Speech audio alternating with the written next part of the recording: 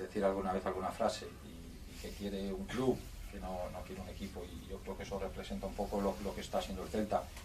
Está creciendo en lo deportivo, que siempre lo, lo, más importante, pero, pero está creciendo también estructuralmente en, muchos aspectos y eso hace que, bueno, que, que, vea que es un club organizado, un club que, bueno, que trata de, tener cuidadas todas las, todas las direcciones generales, todas las facetas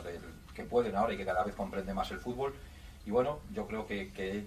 lo que me transmiten es que se sigue pensando en crecer, se sigue pensando en, tratar de mejorar y eso para mí es un reto y es algo también que me mueve el, tratar de, seguir mejorando, de seguir creciendo y,